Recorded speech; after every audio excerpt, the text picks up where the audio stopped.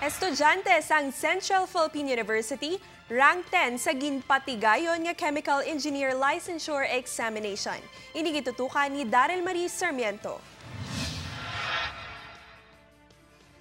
Madinalagon nga nangin rank 10 si Mark Louis M. Filon sa ginpatigayon nga Chemical Engineer Licensure Examination.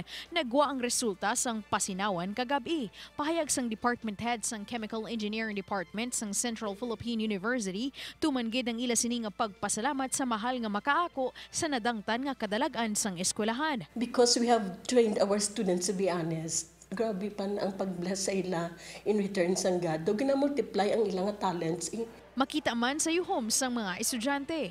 Magaserbi ini bilang isa ka panghangkat para sa ila kung paano mamentenar ang 100% passing rate sang universidad. really really thankful gid kay ang amon expectations ang prayers namon for them to for all of them to pass 100% is nag na fulfill gid. motivated man kami sa ginhimo nila nga legacy nga 100%. Siguro pressure will always be there, especially kay 100% gid sila, but it take gid namon siya as a challenge and motivation for us to do better sa amon academics. 12 tanan ang nagkuha sang pasinawan kag tanan sila ang pasado. Gani proud gid ang mga estudyante sa nadangtan sang ilang nga kapareho nga Centralian ilabi na kay Engineer Filon nga nakakuha sang 81.80% nga passing rate.